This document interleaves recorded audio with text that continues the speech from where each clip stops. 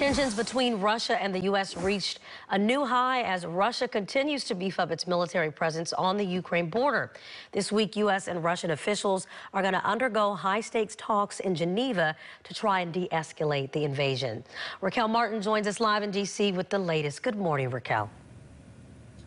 Good morning, Raina. Well, all eyes will be on these talks, which kicked off early this morning. Now, of course, these are critical negotiations. Right now, Russia has more than 100,000 troops on the Ukraine border. The U.S. and NATO allies say their message remains clear. If they do not de escalate and pull back, there will be serious consequences.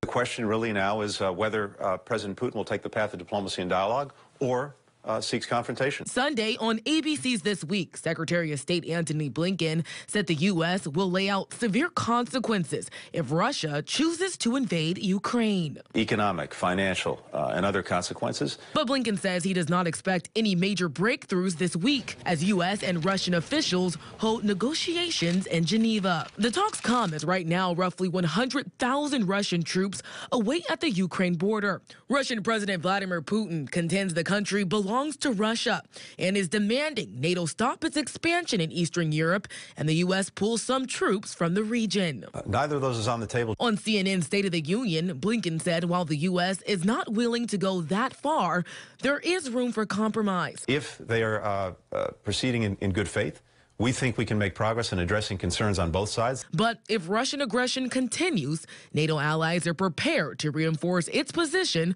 along its eastern flank.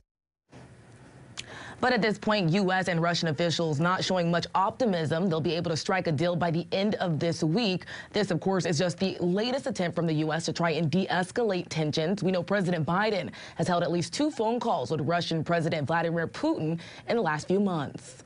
For now in Washington, Raquel Martin. Back to you, Raina. Thank you for that update, Raquel. Well, coming up on the